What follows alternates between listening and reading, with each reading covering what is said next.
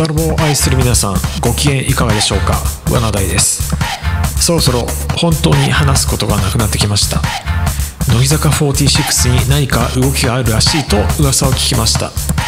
もしメンバーを増やすとすれば、えー6期生ではなく新5期生という形になるんじゃないですかね伊藤リリア推しでございますさて今回はスーパーファミコン版ソフト第3次スーパーラボット対戦第17話サイド1の激闘をプレイします。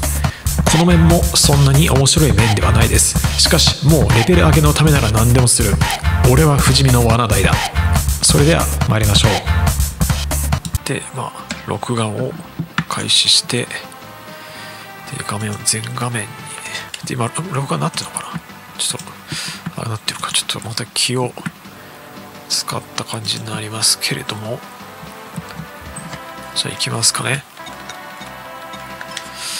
いやこの面もあんま覚えてないからな。でまあ、えー途中の会話はまあ飛ばしてまあサイドワンなんですけど。サイドワンの激闘って言うんですけど全然激闘ではないと思うんですけどね今回ね。でまあ右上の無才が、まあ、当然幸運で落としたいとちょっと先は知りましたけど言葉がね。えーでまあとちょっとと出撃させられる数がちょっと少ないかなっていう気はしますけど。まあまあ普通に主力をこう淡々と選んであ、まあ、今回まあこうをね育てようと思ったんですけどまあどうなのかな。まあちょっと難しいなこれ。誰絞りが出さなくていいやつもいないしな。まあ、まあ、ファーはやっぱ幸運要因で必要だし、まあ、勝つも出したいし。まあ、ゲッターいらないかなって気もしますけどね。まあ、出さないわけにもいかないか。まあ、それなら例かな。うんまあ、ほぼ一人、独り言って、ほぼ独り言っていうか、まあ、全部独り言ですね。で、まあ、この、まあ、一応コロニー落としっていうシチュエーションなんですけど、多分このコロニーとかな。でもその勝利条件とか、縛りがないですよ。例えば、10ターン以内に、えー例えばこの無才を破壊しないとコロニーが落ちちゃってゲームオーバーみたいなそういう展開がないので特になんだろう急がなくてもいいっていう。テンションキャラのテンションとその面が一致してないという。なので面っていうかなその設定が追いついてないというか。ちょっと演出としていまいちでいまいちで。で攻め方はまあ5ターン目敵フェーズでここら辺に来るのでここでマップ域を狙う。以外は、まあ、ここの暗証区域を中心として、まあ、降りてくる。敵を、まあ、括弧にげか括弧？おのおの。各自撃退するという。まあそれだけなんですけど。でまあレコアが戻ってきたんでようやくレベル上げに邁進できると集中できる。でただこっちねどこら辺に来るか覚えてないんですよねあのはっきりと。でまあ固めの人たちをまあ置いといてまあファーとかでも別に十分だからまあどうだろうな。まあがまあもうまあ一応こっちに寄せてでまあ今回カミーユでもカミーユのちょカミーユをちょっとレベル上げさせて、まあ、2回コードにしたいくらいのモチベーションしかないので。まあだからこの、まあ、寄せとして、まあ、ブルーが使うかなと。で、まあ、ゲッターも今回、まあ、敵の大物がいないのでまあ、余計要因というかもうここっちも寄せるための。もうもうちょっと下に左下の方にいた方がいいかな。であとはまあ後ろで打てる人は打つと、うん、でついでに精神的にも打つであるという、まあ、ことにしておいて、まあ、こんな感じで1旦目はもう着実に早めにあやべ。打ってきたよ、うん、でまあ今回エルメスかな？さっき出てきたけど、まあ、それがねまあ結構きつい敵なんですよね。まあ結構 HP があると。でしかも当然ビットが当たりまくるんでこれはもう早めに叩きたいと。というわけでもうもう節操もなくもう3アタックをぶち込んでも構わないと。もうこれでいいんだよ、うん、それくらい厄介ですからねエルメスは。でもバシバシもうコットゴーガンとか打っていかないと。まあ、あっという間に落とされるんでねエルメスがいると。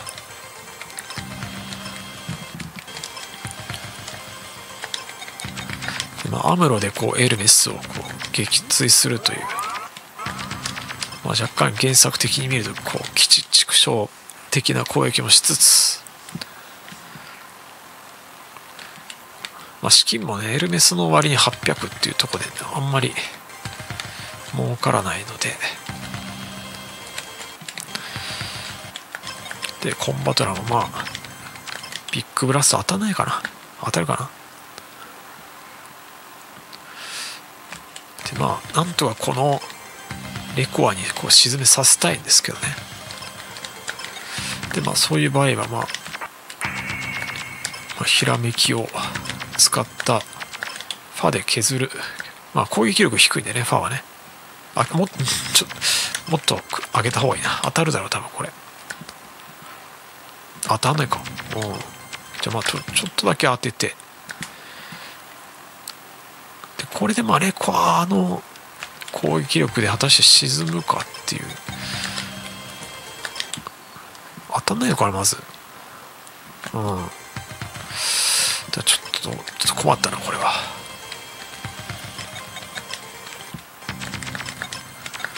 まあ適当に勝つに打たせてまず一旦打たせて。でまあその後にレコアあ、結構もう何ステージかいないだけでもう戦力にならなくなっちゃうっていうまあちょっとかわいそうではあるんですけどちょっとこっちに戦力割きすぎたな。でまあこういう感じで、まあ、早めに寄せる。でここっちは正直失敗したな。まあだからこうまあ、0で特攻あ届かないか、うん、でもこれ0当たんないから当たるかな。当たればそのままいいし。結構避けれると思うんでね。あれひらめきなかったっけ。うん。でここはもう0で外して乱数変えるしかない。でこういう時ひらめきあると楽なんですねくら当たるだろこれ。うん。当たんないのかい。ちょっとこ弱ったなこれは。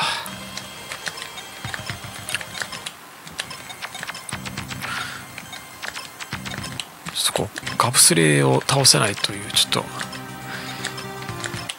これさすがに失敗ちょっと失敗したなこれ。ちょっとさすがに次くらいで当たんないとちょっと厳しい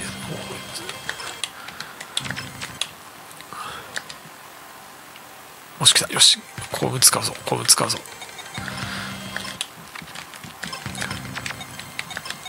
ちょっとレコアもちょっと本当はここでレコアがレベル22で右下のまあレベル30の敵をね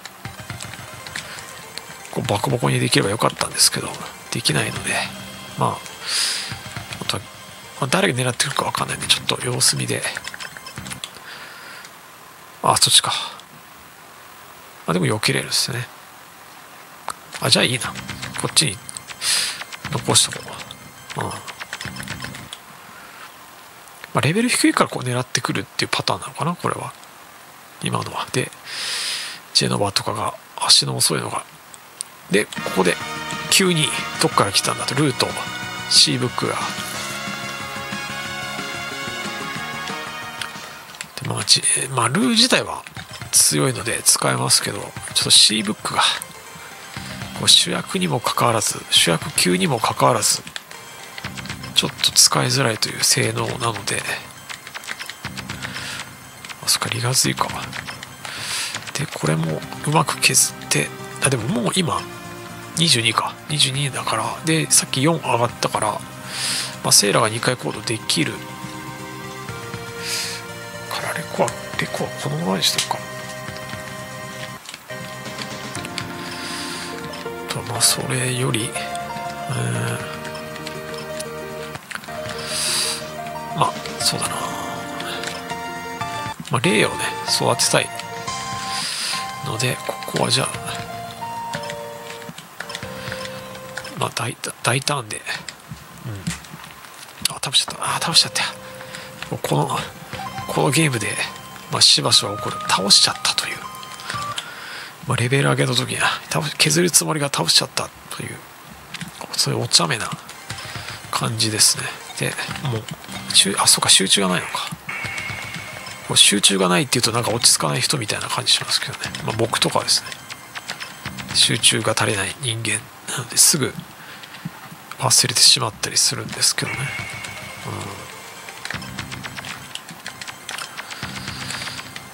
うん、まあシーひらめきがあれば削りはいける気がするけど。そ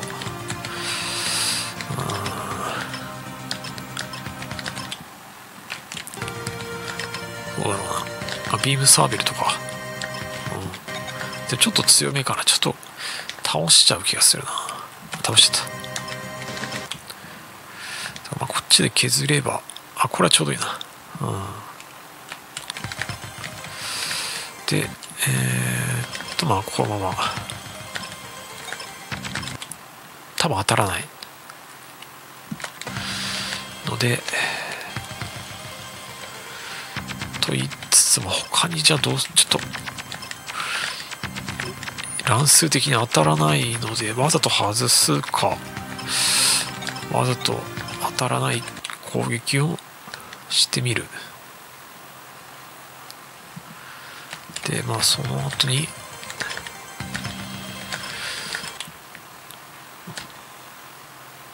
あこれ当たるか。まあちょっと地道に上げていけば結構能力が高いので使えるんですけどね。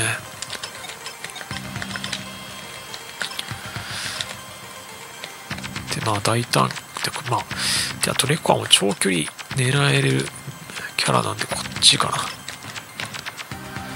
であんまり敵がそうこっちには来ないかもしれない。でちょっとちょっと混乱してきたな。うん。ちょっと削り要因でアムロを派遣しつつでまだ3ターンくらいか。これちょっとよ分かんないですね。まだちょっと勝ちがまだ見えてこないですね。うん。勝ちが見えるところがちょっと厳しいくらいですからねこれね。おでダブルゼータが来てこれでいよいよマップ兵器ゲーが始まるぞと。始まるドンと。なのでまあそこに集まるように。こんな感じで。でライディーンかな？こういう感じにしといて。で集中まだ覚えないか。まあ後ろにやって。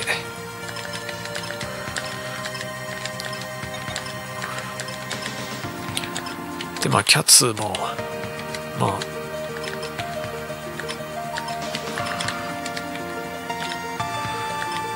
あちょっとここは適当ここの辺適当だな。でで4ターンでまあ様子見ていいだろうと、うん、あやべもう直で打ってくるのか。やばいな。これ寄せに失敗した。うわ。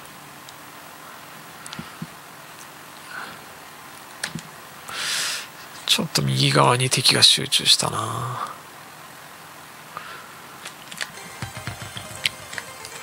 でまあ狙いとしてはまあもうダブルゼータで打ってしまおうということなんですけど。でまあそうだな、まあ、その車軸車線上から寄せればよければ。で、まあ、熱気で使ったら多分倒しちゃうから、まあ、気合でちょっと様子見、まあ、こうすればまあ結構いい感じに削れたので。でまあドライ線かな？ドライ線をまあ幸運でできれば。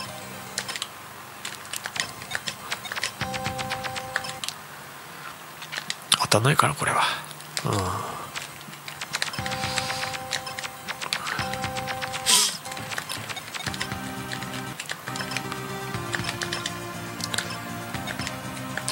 まあ、地道にこう倒していくしかないと、まあ、避けれない敵は、まあ、レベル低いやつで落として。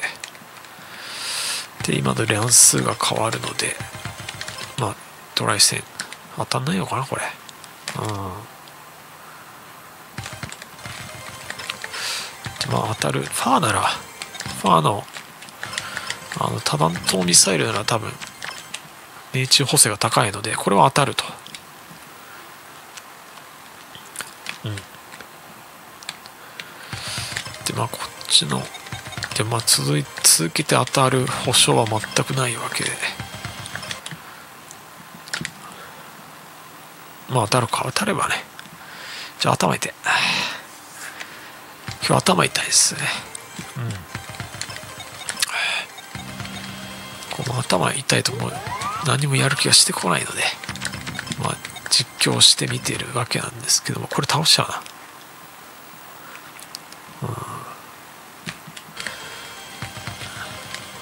で、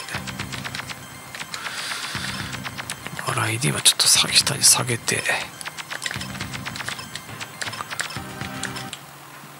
でもちょっとここコンバトラーもちょっときついんだけどな。で今が5ターンだからちょっと次のターンの敵のどう出るか見ておかないと。あこれか。で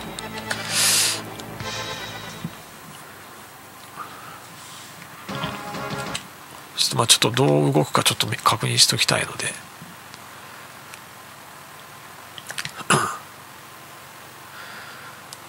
やっぱブルーガニャ寄ってくるよねこれね。うん。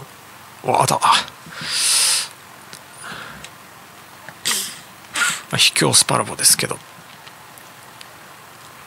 うん。まあ、うんって今何にうなずいたかよく分かんないけど。これだと12344機で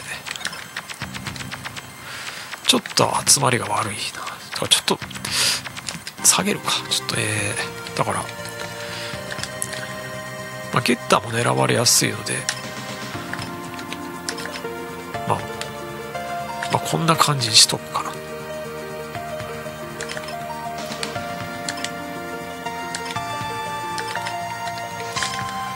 ちょっとこれでまた様子を 見るんです。これで時間がね異様にかかっちゃう原因になるんですけど。でもやっぱそれでもマップ兵器はまあ綺麗に決めたいところなんで、うんまあ、ほぼマップ兵器ゲーですからね第3次は。うん。でこれだとえー、12345これならいいだろだこれならもう 6, 6機はちょっと1機は無理だから、えー、これならなんとかちょっと一撃は難しいかもしれないけど。あやべやべ味方。やべ味方を大幅に巻き込んじゃった今。今のはいいけないけどあえてもう一回見てみるっていう。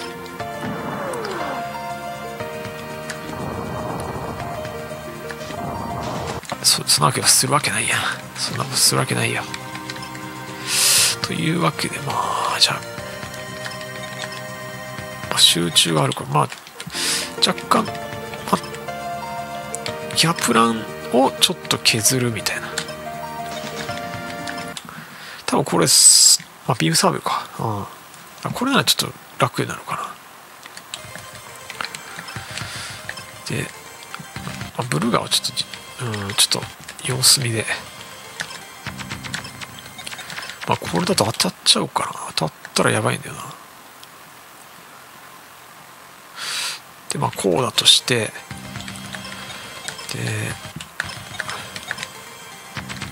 それ。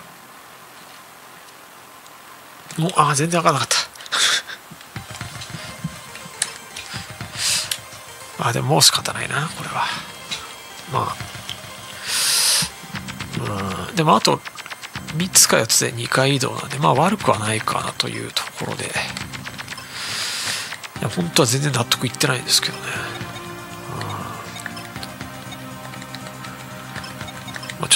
今自分に怒りがすごい湧いてきてますね。今のなんだ自分自分らしくないというか。もう腹が立った。もうゲッタビュー使えますよこれ。ちょっとこれはあ支柱使ってなかった。もう全然当たんない。これは。悲しい現実だ。うん。スーパー系はもう支柱を使わないと当たらないというモビルスーツには。そういうゲームバランスなんだ。うん。でこれで下はもうどうでもいいので、まあ、上に集中できると。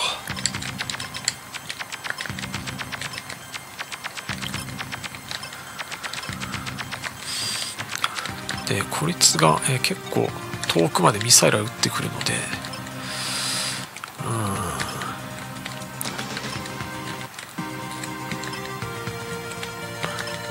た。でまあちょっと。もう早めにもう気合を使って、まあ、決めに行くしかないなと。もう喋ることもない。もう生活の中でもう何もいいことがないんだよと、うん、だからまあスパロボを、えー、やるしかないという。そういうことが導かれるわけですね。もうバレンタインとかもねないですからね。基本基本的人権がないのでそういうイベントにはもう何も、まあ、縁がないというか、まあ、まあ社会からまあ放置されてるので。あれどうだっけ？LINEX は結構資金が入る気がするけど、えー、あ1000か。じゃあまあそんなにまあ喫緊ではないので育て育てかなこれは。まあ機械集計はまあレベル上げにまあ使いやすいと。余計余計ない人が多いので。うん。でまあこれはちょっとまあまあ、大胆すりで引きつけといていいかなしばらく。で遠巻きから、まあ、一旦まあコンバトラを下げてちょっとリガズイを前に。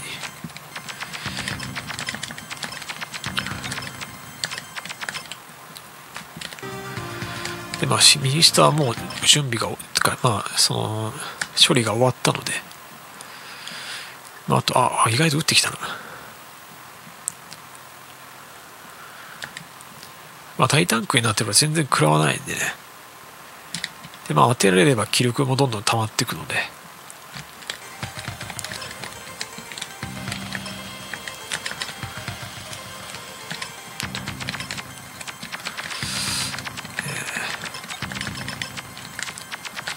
ちょっとまあ、ブルーガは補給使えるので、あでも、どうだろう、これ、こいつらにぶつけるべきか。まだ温存するのもいいんだけどなうん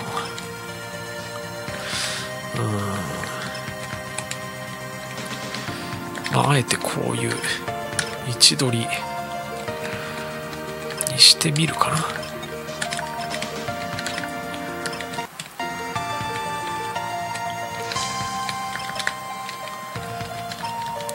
ちょっと今回は移動、移動が激しいと。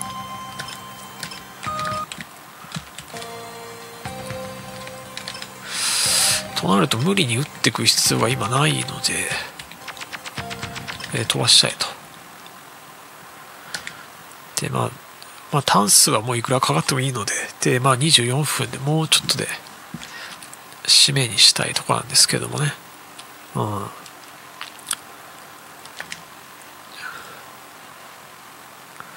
で左上にこう進んでいくと敵が出るのでそっちをなんとかでここで、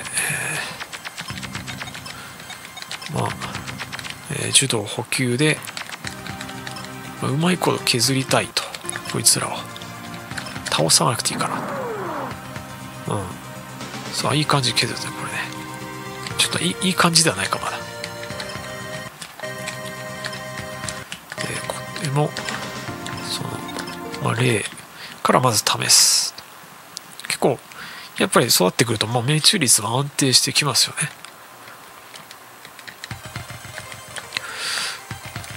うん。結構反応が高いんで。であとはまあハイメガランチャーとかで適当に削って。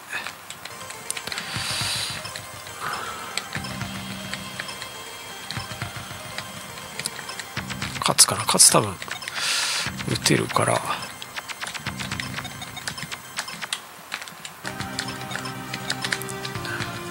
まあ早めにささっとこう炒めるような感じで。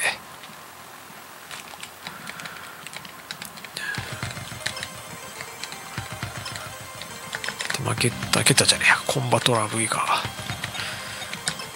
当ててもいいわけだし、まあ、結構もうここら辺になると攻撃力的にやっぱきついか。ちょっときつかったね今のは。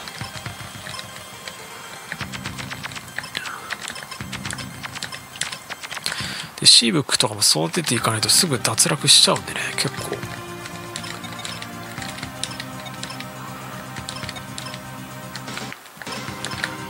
でもこれさすがにビームサーベル効かないかこいつには。そんなに。あいけるか。で柔道は攻撃力高いね、まあ、主力になるんですけどちょっとその他その他の人たちはどうなのかっていう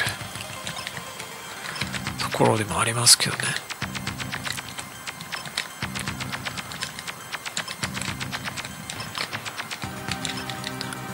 でまあここはちょっとまあ、様子見ると、まあ、そっち打ってくるか。でどこくらいまで進めばいいのかなこれ。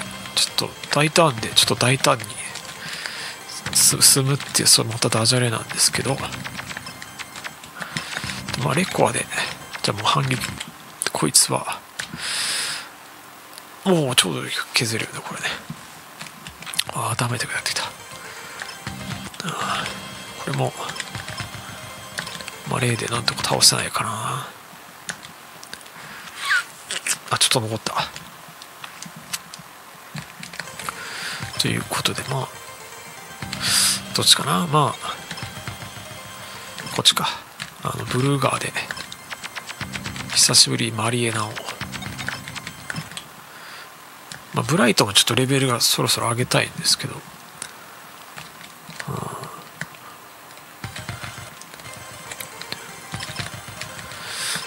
までちょっと記憶が曖昧なのでどれくらいでどれくらい進んだら出てきたかちょっと覚えてないのでちょっとやっぱり大胆に任せると。ちょっと進ま進ませて攻めさせるって形あると。どこだっけな？どこくらいどっかに突っ込むと出てくるんだけどその基準の線がどこにあったか。まだこれ下手したらめった打ちにされる可能性もあるんだけどちょっとだからあ来たかな？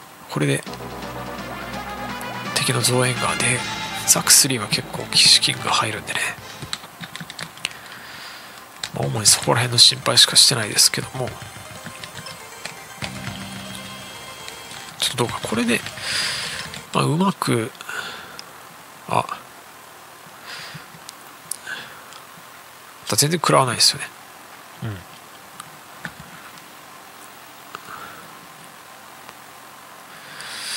でうまくこう固まっといてもらって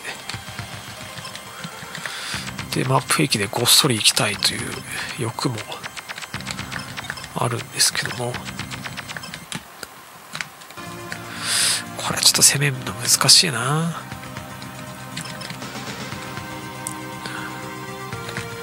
まあここくらいねいれば攻めやすい。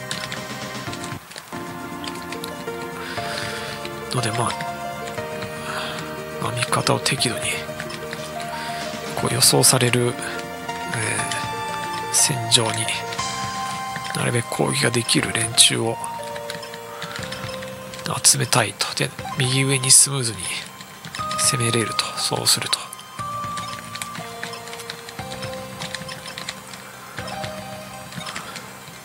正直動かすとだるいですねこれね。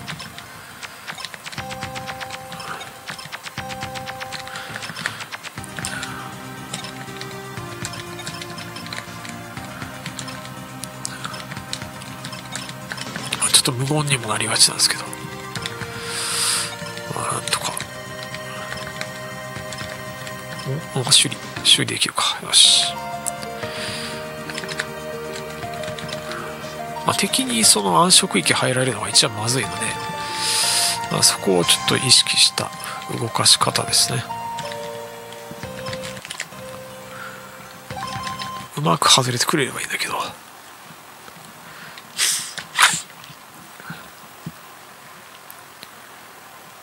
もういい感じで来たな。でまあそんなに急がずとこんな感じで。こうこうなるとちょっとダックスリーが移動が10だから。456狙われちゃうのこれ。まずい。ということで。集中ゲッターとかをこう。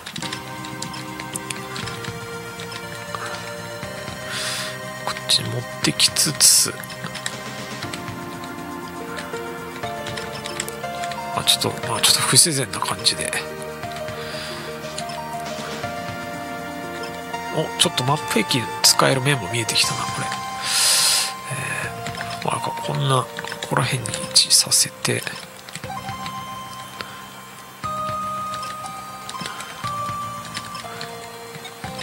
まあ、結構広めに陣をこう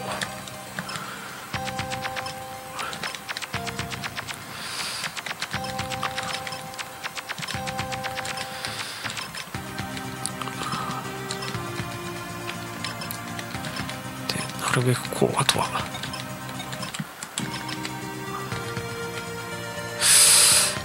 うんまあどうだろうな。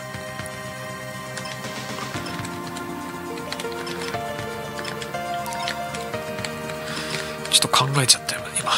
うん。これでちょっと様子見てみようかな。どう寄ってくるか。ああやべ普通狙われた。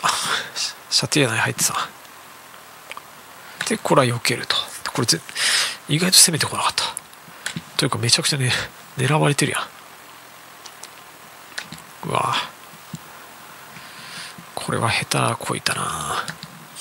ボコボコやんかいこれ。ただまあこれがうまく射程内に入ってるので。うん。まあ打っちゃいたいところなんだけど。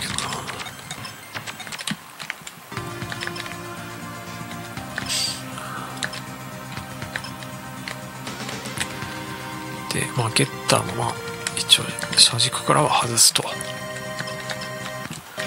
でも熱血あ熱血使えるか。熱血コーン。あでもたあそうか熱血使っちゃった。違った。また見間違えた。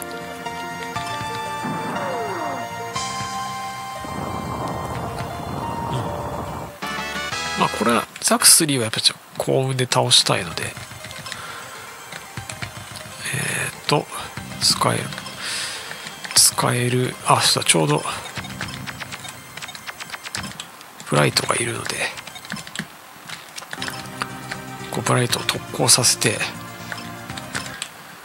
まあこれならレベルも上がるし。うん。あとこっちにこ交通移動が集まってしまったという。でここをまあマップ兵器でなんとかするか。もう。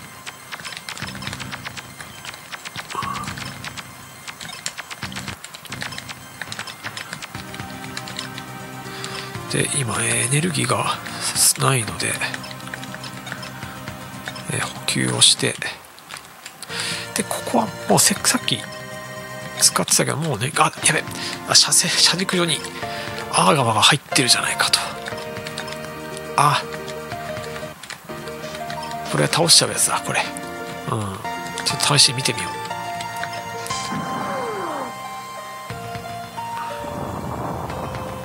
はいダメ。というわけで、えー、せっかく補給したのに意味がなかったという。であ熱血使った今？あ使って使って今のダメージなのか。ちょっとしょんぼりだな。なのでもう地道に打っていくしかないなこれ。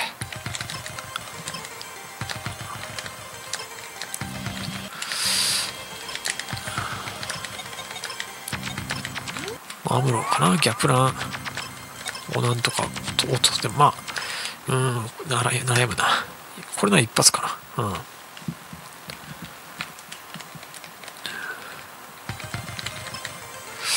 とどうするかな。まあ幸運をそろそろやっぱ使いたくなるのでまあ C ブックで削る。うん。でまあ削ってあとはまああとはカツとファファかな、まあ、普通にビームライフルがくらいは当たるだろう。うんまあグラトニアスはまあ資金も結構くれるので。まあと言いつつもやっぱりまあレベル上げできればレベル上げに使いたいので。だからもうレコはもう今回は削り役なのでもうロングライフルで。うんあたえー、今それ当たってこれかよ。ちょっと弱い弱いな。で勝が熱血を覚えたので。で今回雑談をほとんどしてないっていう。なぜかというともうその話しすぎて本当にもう話したいことがないっていう。そういったこう人間人間的な理由でね。これ多分削るだけになっちゃうんだろうな。うんだからこれをえー、ルー。ルーここから打てない。打てないからな。なんとかルーをこう沈められない程度でなんとか。でルーもちょっと低レベルでなんかなんとかああもう厳しいやんもう。ルーはまあ熱血幸運がもう加入時点で、あ、ないか。熱血、覚えてか、あ、あげあげればよかったな。ちょっと。熱血は幸運の方がやっぱ決まりやすいんで、熱血何ぼからだっけな。ちょっとまあ、いいか。まあ今でも、今すぐにやらなきゃいけないわけでもないのと、あとルーはやっぱ攻撃力が高いけど、まあ、まあ終盤入ってくるプルプル2、プルとプル2あたりの方がよほど使いやすいので、結局育てるけど最後は使わないメンバーだから。まあそんなにその考え込まなくてよかったというか。これはねできればうんマップ兵器でまとめてなんとかしたいんですけど。だからまあするとしたら神湯かな。ミーは、えー、さっき打ったので補給。だか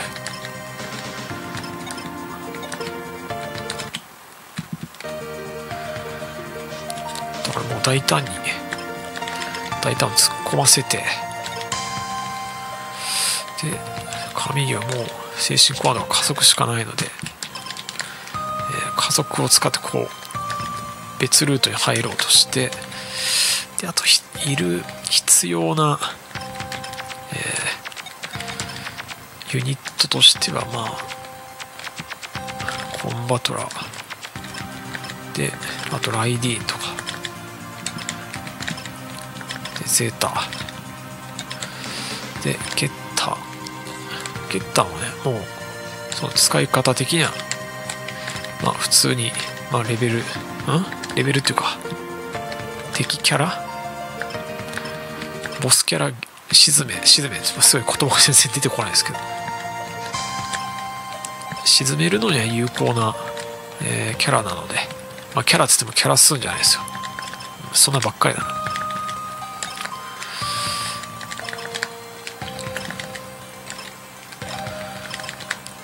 まあちょっとこんな感じでちょっと様子を。意外と時間かかっちゃってるな今回。そんな大した面じゃないんだけどちょっと先が思いやられるというかもっと面倒な面たくさんあるんでね。話すことも余裕がないしでも40分経ってるしな。うん。こうなんとか。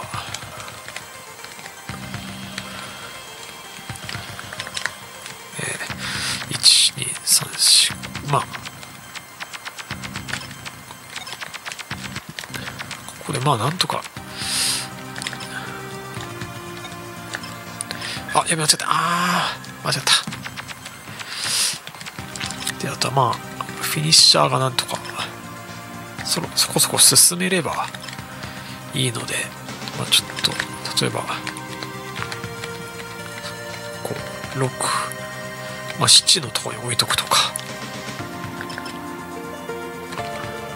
同じ感じで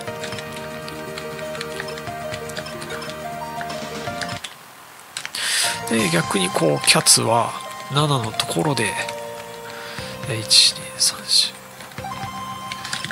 まあ、狙うこともできるし。でこれ狙われるかな？うん。ちょっともう自分でやってることめちゃくちゃになってきてるんですけどね。でもう一旦様子を見ると。多分こう反撃しないスタイルがすごい時間かかる原因になってる。ですよね。タン数も実際かかるわけで。でもまあそれがね自分のこう回避人生ということなのでそれは変えることがない。スタイルとして、うん。ね、タイトなジーンズにねじ込むと、ね、我々の世代なら、ね、そう言うと思います。で、車軸上に、え大胆がいるけど気にしないと。あやべ倒してた。うん。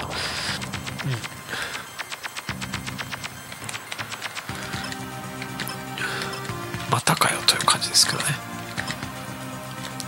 でこいつらは30なのでまあどうすっかな。まあここの面でこういう展開になるのは慣れてるんですけどね。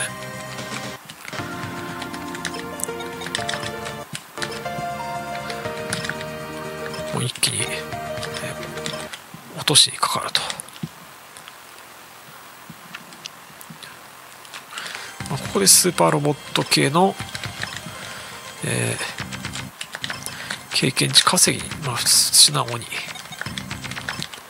使わせてもらってと、まあ、サクサクですねこの辺はね。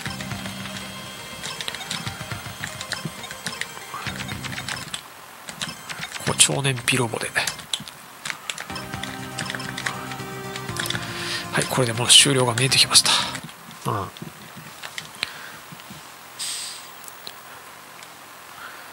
で今何時だ？ろうあもう結構な時間になってきたな。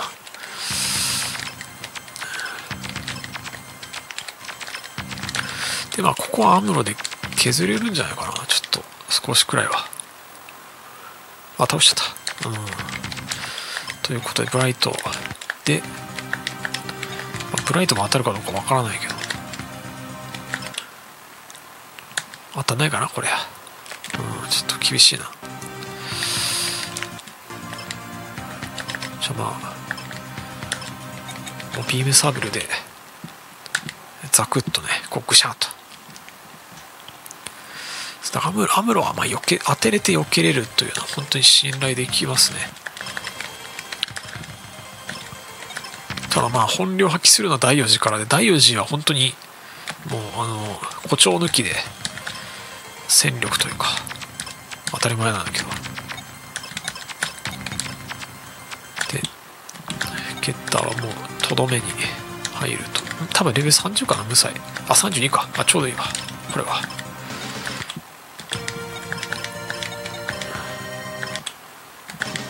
でもう増援も来ないので本当にサクサクとこう、まあ、ゲッタービームで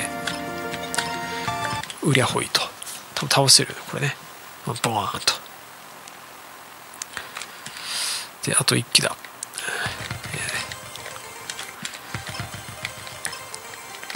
っちかな？どっちかな？